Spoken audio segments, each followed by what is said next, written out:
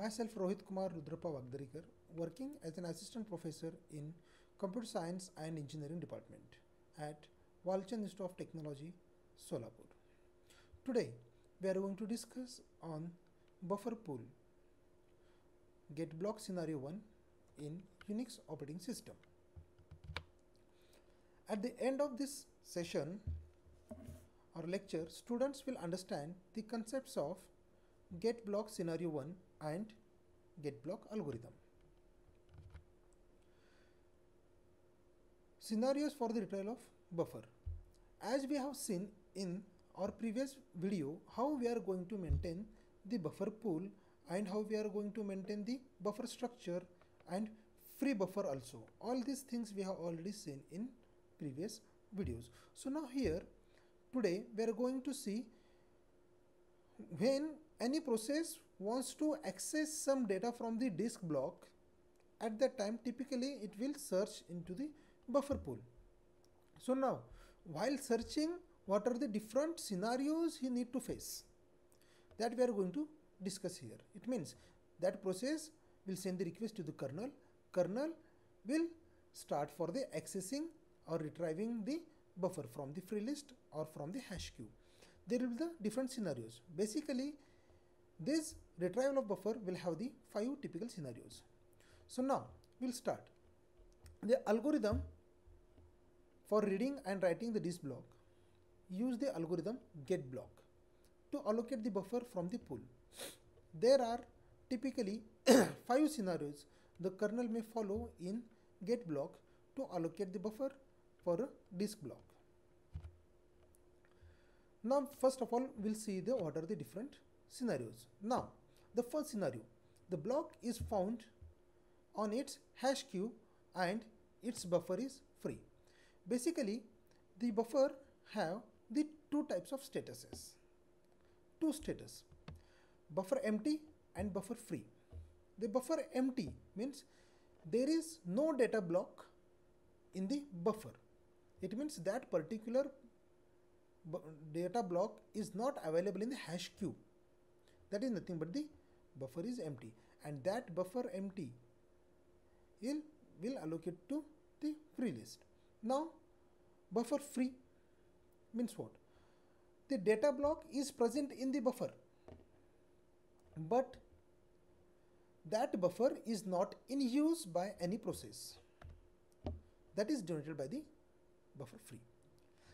Second scenario data block could not be found on the hash queue so a buffer from the free list is allocated to that process by the kernel.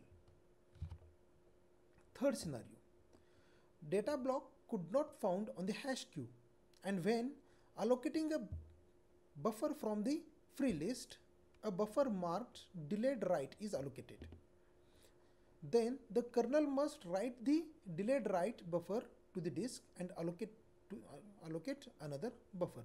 Means in this third scenario kernel will allocate the buffer from the free list. Now in this free list that particular buffer is delayed write. Now here what is mean by the delayed write? Delayed write means that particular buffer or data block has been modified by some process and that is still available in the buffer and that is not returned back to the disk. That is nothing but the delayed write. If we'll allocate that delayed write to the any process at that time that data is overwrite overwritten. So that is the inconsistency of data. Now fourth scenario. Block could not be found on the hash queue the free list of buffer is empty. Last one block was found on the hash queue but its buffer is currently busy. So now these are the five different scenarios. Now the buffer on hash queue. Already we have explained this diagram in our previous video. In our previous video it means how we are going to add this data block and that is what is hash queue headers how we are going to allocate these different data blocks like 28 4 and 64 i explain in a short here we are going to use the hash function that is block data block mod n. Now that data block is nothing but the any any one from this diagram. Let's take it as a 28 17 98 55 for anything as a data block. And mod n is nothing but the size of our hash queue means if we'll have the total size of header is 4 now i wants to access the data block 3 or i wants to add the data block 3 into the hash queue now what we'll do we'll use that function. How? 3 mod 4 the remainder will get the 3 so now we'll attach that data block 3 in the block number third. We have seen let's look at the fourth queue in that way we have allocated or assigned all the data blocks to the block number 0 1 2 3 4 okay now we'll see the next things. Now this is the diagram. In this diagram we'll have the same thing as we have seen in the previous slide. That is the diagram. Here what we have done we have added one free list header node in the hash queue headers. The main aim of this free list header is it will create the link of free list free buffers in our system. Okay now here we'll take. And as we have already explained in our previous slides each data block or node in this hash queue will have the two pointers forward pointer and backward pointer. So now with the help of this all these free-list headers are going to be maintained. Let's look at the headers. Now here the free list header will start to pointing to the third. It means the third buffer is free. Then its next pointer is pointing to the 5 that 5 is free. Then 4 fourth one is also free.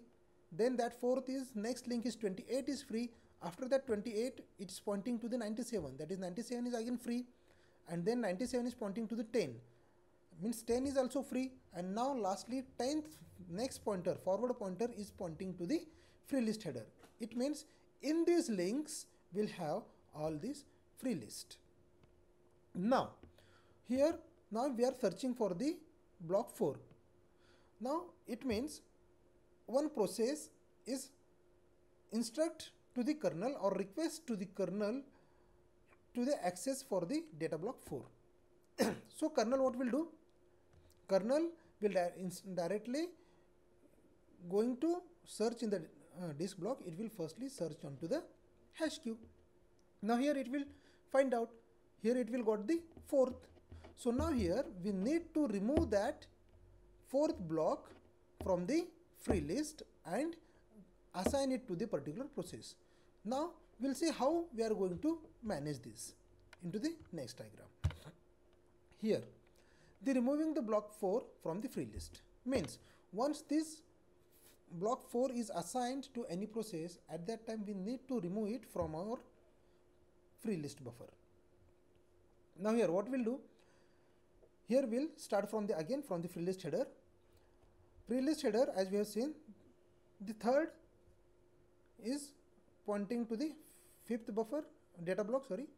And then 5 data block next pointer is pointing to the 28 but if you look at the previous diagram that 5 is pointing to the data block 4 so now here we have removed that 4 and fifth forward pointer is pointing to the 28 and then 28's forward pointer is pointing to the 97 means if you look at the previous here fourth block fifth sorry fifth blocks forward pointer is pointing to the fourth and fourth forward pointer is pointing to the 28 so here we have removed that two pointers forward and backward pointers of the fourth data block and assigned it to the 28 let's see here.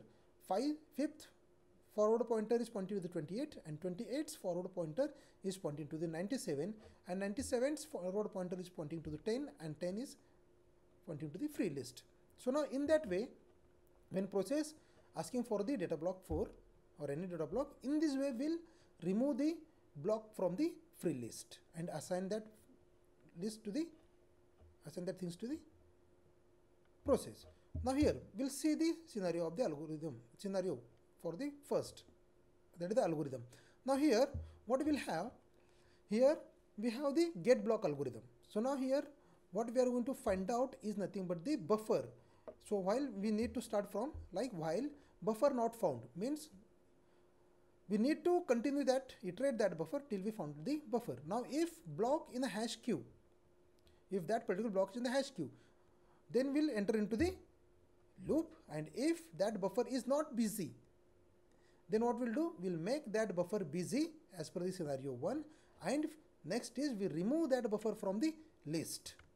And we'll return that buffer. So in this way this scenario 1 algorithm will work. Now think and write.